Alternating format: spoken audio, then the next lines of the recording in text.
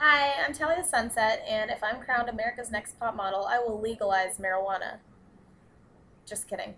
But seriously, I'm one of the only professional models out there who's using her looks and modeling platform to do more than just take a pretty picture. Um, I travel all over the world for work. Everywhere I go, I'm making sure to tell people what I know about its medical benefits and um, how much fun you can have with it. I love helping people. I love making people smile and laugh.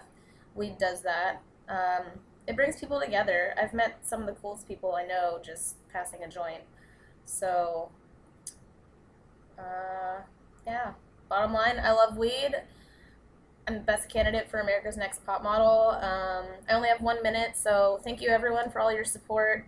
It really means a lot whether I win or not. I love that you guys took time out to help me, support me. Um, yeah, stay high.